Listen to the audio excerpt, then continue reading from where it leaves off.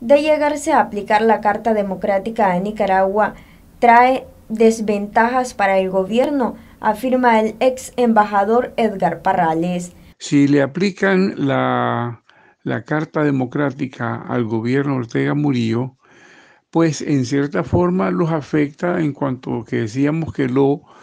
aísla de su participación en toda la vida activa de la organización,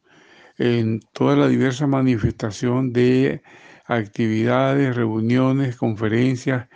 etcétera, etcétera, que tiene la organización, así como también de beneficiarse de, eh, de las prestaciones financieras económicas del Banco Interamericano de Desarrollo y de la asistencia múltiple en diversas formas de la Organización Panamericana de la Salud. Amén de otras eh, posibles eh, consecuencias que tendría la relación bilateral con Nicaragua de alguno que otro de los países integrantes de la organización. Se le deja dentro de la organización, no se le excluye de ella, la ventaja que tiene esto para tanto para el pueblo de Nicaragua como para, digamos, la, eh, la relación con el sistema interamericano es que estando dentro del sistema,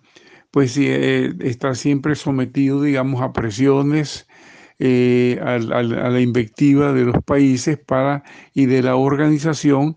para que este, reconsidere su rumbo, para que restituya la vigencia de la constitución y de las leyes, para que cese la represión y cese todo el estado de corrupción. Parrales manifestó que se requieren de dos factores técnicos para que pueda haber una reunión de cancilleres. Desde el punto de vista técnico habrá que ver, digamos, si eh, se logra conseguir los 24 votos para hacerlo. Y desde el punto de vista político, pues este, ver también la conveniencia de si se convoca o no para tomar la decisión, que obviamente